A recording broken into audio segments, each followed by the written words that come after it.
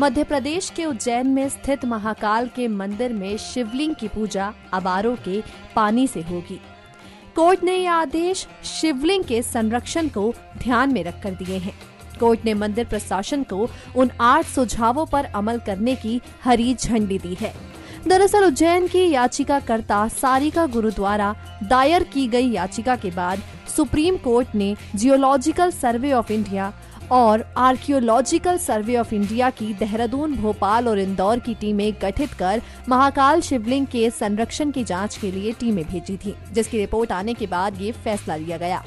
इस रिपोर्ट में ये भी कहा गया है कि महाकाल मंदिर में शिवलिंग को पंचामृत स्नान, भस्मारती में होने वाली कंडों की भस्म शिवलिंग पर चढ़ने वाले जल, हार और फूल के अलावा मंदिर के गर्भगृह में दर्शन करने पहुँचने वाले श्रद्धालुओं के शरीर की गर्मी से भी खतरा है। चलिए बताते हैं आपको उन नियमों के बारे में। पहला नियम ये है कि श्रद्धालु 500 मिलीलीटर से ज़्यादा जल नहीं चढ़ाएँगे। चढ़ाया जाने वाला जल सिर्फ़ आरओ का होगा।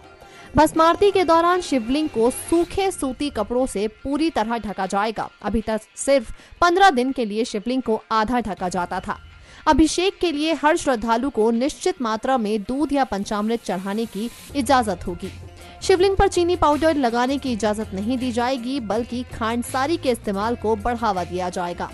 नमी से बचाने के लिए ड्रायर व पंखे लगाए जाएँगे और बेल पत्र व फूल पत्ती शिवलिंग के ऊपरी भाग में चढ़ेंगे ताकि शिवलिंग के पत्थर को प्राकृतिक सांस लेने में कोई दिक्कत न हो।